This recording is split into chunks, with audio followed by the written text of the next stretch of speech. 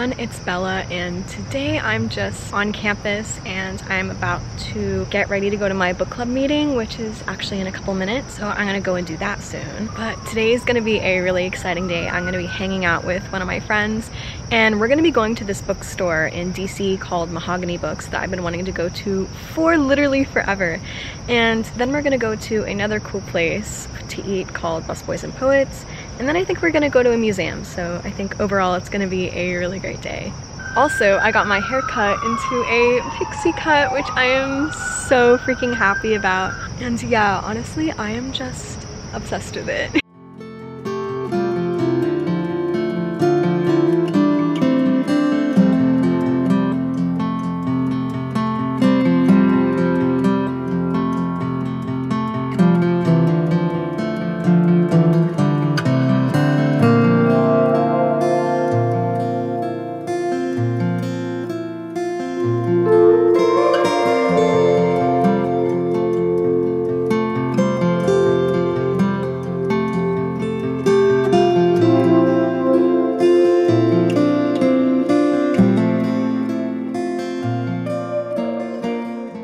Okay, so I just finished the book club meeting and it was amazing. So if I haven't told you guys this already, the book club that I'm in is basically just a bunch of us meeting up and every week we read a different piece of radical leftist political theory. So this week we read some prison writings about revolutionary leadership and we just had the most incredible conversations. We basically talked about the structure of revolutionary leadership and, and how it needs to be a collective leadership rather than a top-down organizational structure. Whereas rather than a vertical structure, which was used in revolutionary movements in the past, for today's political climate, we need more of a horizontal leadership structure where everyone has a role and we talked about how that, among other things, are what's needed to make the revolution successful. So right now I'm just chilling in the amphitheater because I'm waiting for my friends so we can go to the bookstore and do all our fun stuff today. So right now I'm just gonna sit and enjoy just this quiet spot of nature on campus and I will update you guys later.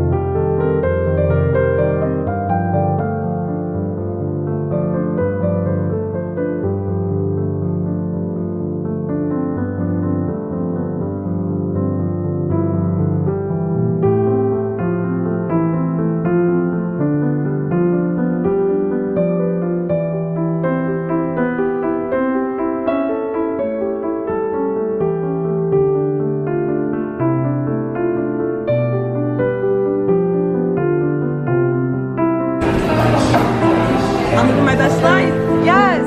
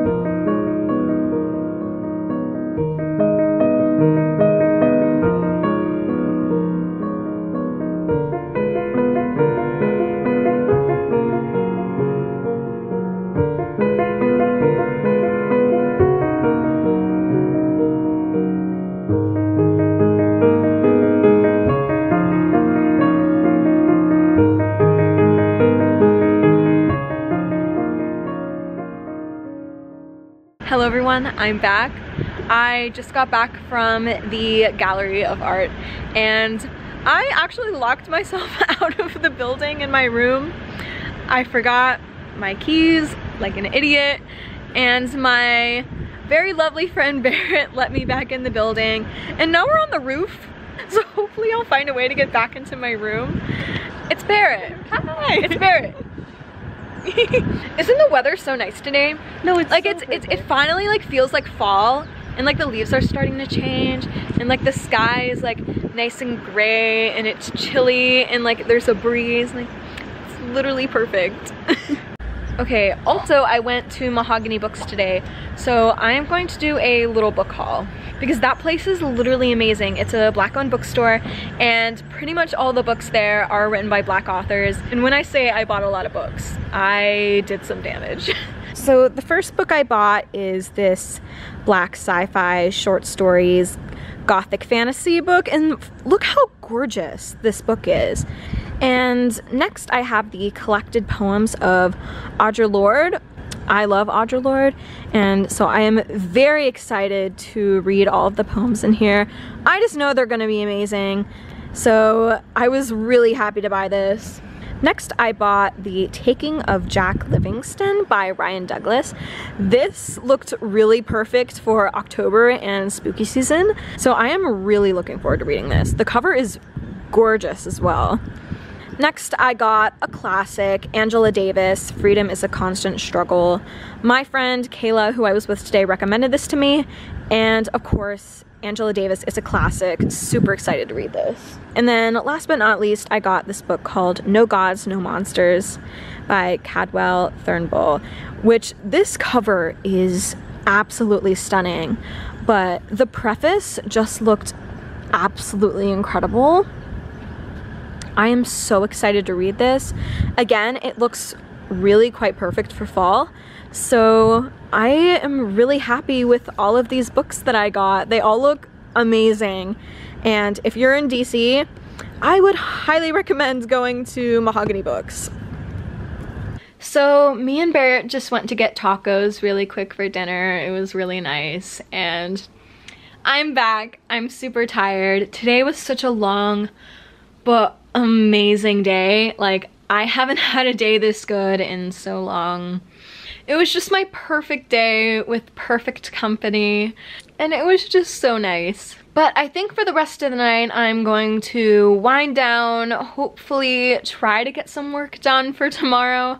I know I have some readings to do for my gender studies class in the morning, but other than that, I think I'm going to watch some Netflix and that'll be the rest of my night.